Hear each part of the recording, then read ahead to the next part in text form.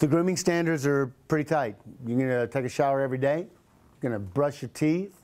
You're going to keep your toenails and your fingernails clean. You're going to you're going to you, you, you're going to take care of yourself. You're going to be clean cut, no facial hair, and we're going to dress you out in clothes. And when we put you in those polyester pants and you're really upset about it, why are you upset? Who cares? But we have this image that we want to break so that we can start getting onto the inside. The women uh, dress modestly. Um, you know, you can imagine a lot of the women that come have um, have made it their business to, to, to look attractive and put themselves out there. And that's not what happens at the Other Side Academy. They're going to dress conservatively and modestly.